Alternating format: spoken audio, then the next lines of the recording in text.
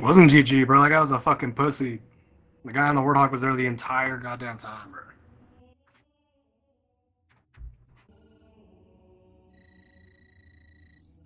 Just the last bit. Yeah, suck my toes, bro. Just the last bit.